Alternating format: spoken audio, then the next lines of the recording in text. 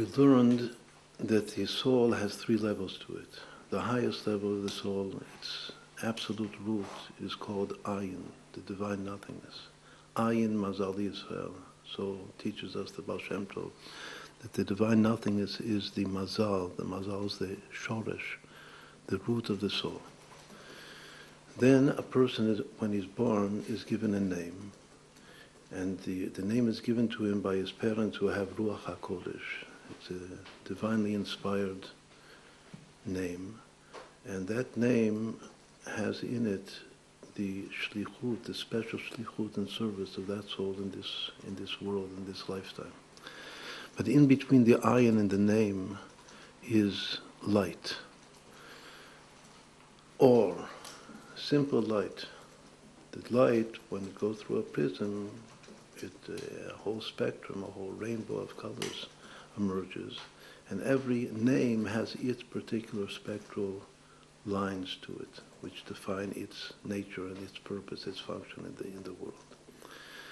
What other things in Kabbalah correspond to these three uh, levels of ayin and or and name? One simple correspondence is the first three supernal sfirot, which are Keter and Chokhmah and Binah. Keter is above mind, it's super rational, it's unconscious. The unconscious, the ultimate unconscious level of the soul is the ayin, the nothingness. The revelation of light, it's called Reshit Hagilui, the first initial re- revelation of light is wisdom. It's a flash, a lightning flash of wisdom. That's light, that's pure light. But form, to assume a certain form, which is like to assume a, a even a body with a purpose, a well-defined, understandable purpose in life, that's bina, that's understanding. So the simplest way to understand these three levels that we are, are discussing that pertain to this week's parasha is that they correspond to the first three sfirot, which are, once more, Keter is the crown, is the absolute nothingness of the soul. And then comes wisdom, which is also the relative nothingness, relative to Binah, to understanding. That's the light, the flesh. And then comes understanding, which in our context is understanding who I am. In Kabbalah, every one of these sfirot has a question and answer to it. The question and answer of Binah, of Ima, Binah is the, called the mother figure, is me, who? Who am I? And that who am I is my purpose in, in life. That's Binah, and that's form. Binah gives form just like a mother gives form to the embryo, to the simple seed of the father. That's exactly what happens in the, in the womb of understanding who uh, am I and what is my purpose in life.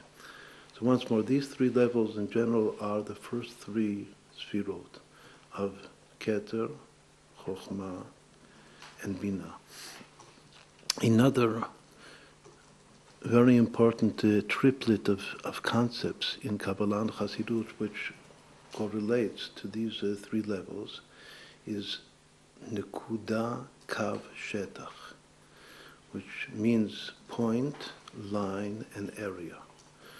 When something develops, it develops from a point. First, it's a point which is, has no dimensions. It's a zero dimension.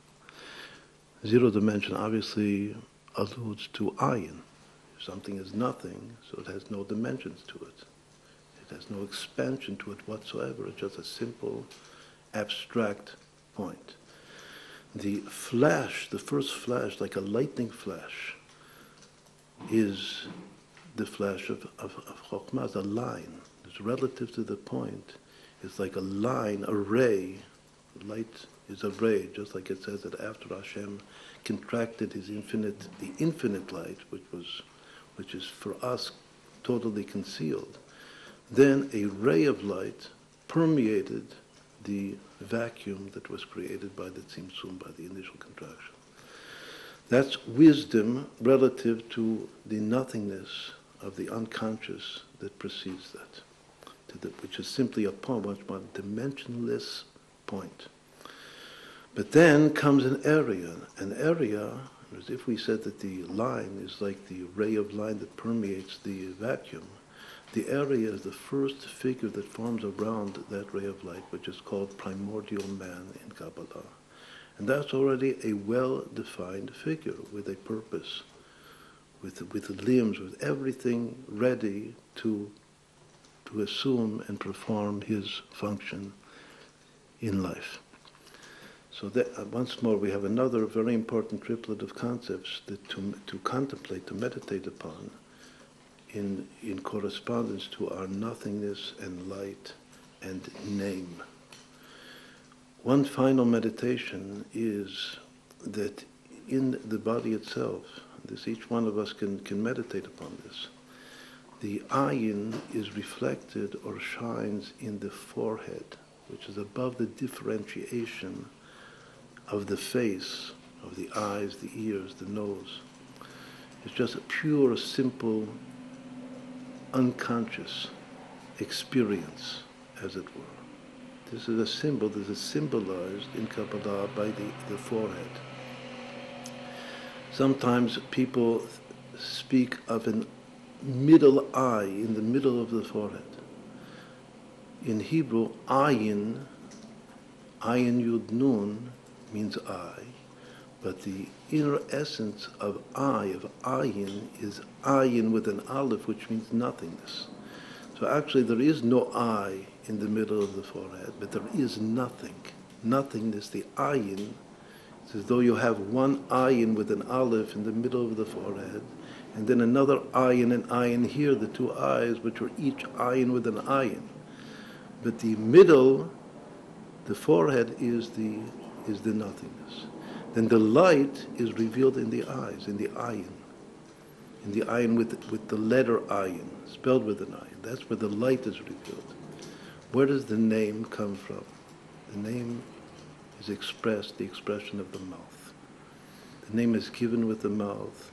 When a person is called by name, it's through the mouth. If it's letters, it's letters, it's, it's a combination, a permutation of letters to form a word.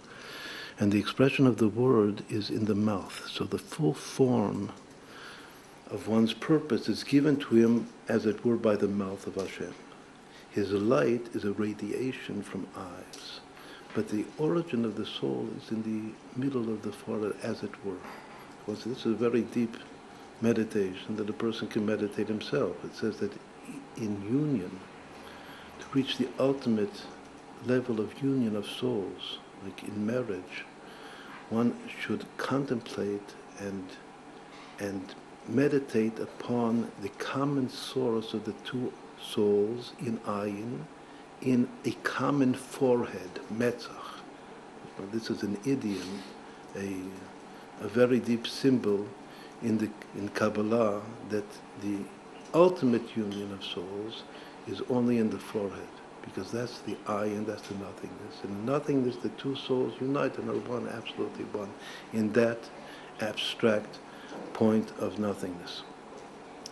So once more, we have now another very, very deep meditation, just in the face itself, that you have the forehead and the eye and the mouth. If those three words are combined in Gematria, it, equals simcha, joy. Now in the month, the beginning of the month of Adar, Mishen Nichnas Adar Marbim B'Simcha, so this meditation itself is a very beautiful meditation of, of joy.